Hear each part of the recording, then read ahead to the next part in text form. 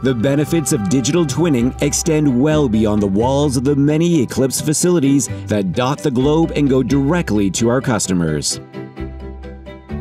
Instead of a static, low resolution rendering of their system, customers can now see a high resolution, dynamic model of their system, a real plus for customers who have difficulty visualizing a system based on a drawing.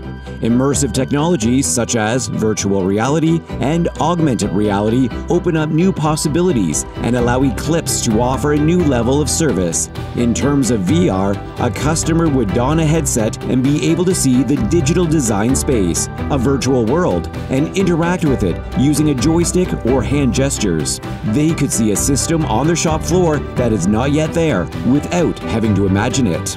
AR is known as the higher level of VR. It's a place where digital and physical worlds converge. Wearing goggles, the user sees computer generated graphics superimposed on the real world environment and can interact with the equipment.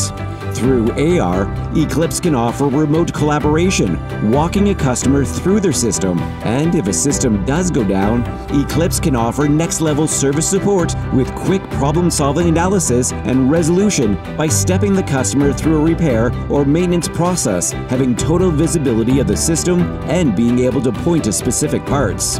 VR offers the benefits of saving costs and time, and with the increased focus on personal safety and social distancing, it eliminates eliminates the need to be physically present. For more on how we can bring the benefits of digital twinning, augmented reality, and virtual reality to you, please visit eclipseautomation.com.